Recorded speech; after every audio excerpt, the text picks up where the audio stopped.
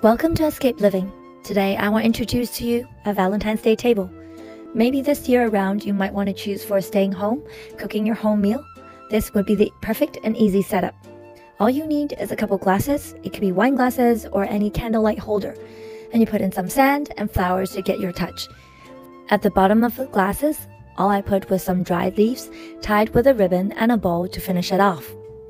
For the table, I purposely set it with black tablecloth because it gives it a modern touch for the modern day woman instead of being too pinky and too girly. And there's enough space in the middle for food sharing.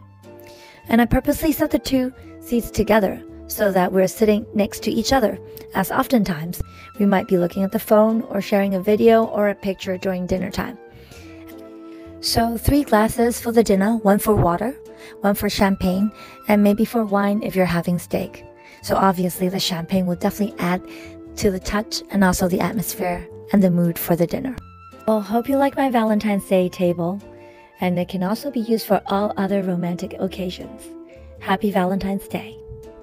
You, you, you, I'm in love with you, you, you. I could be so true, true, true to someone like you, you.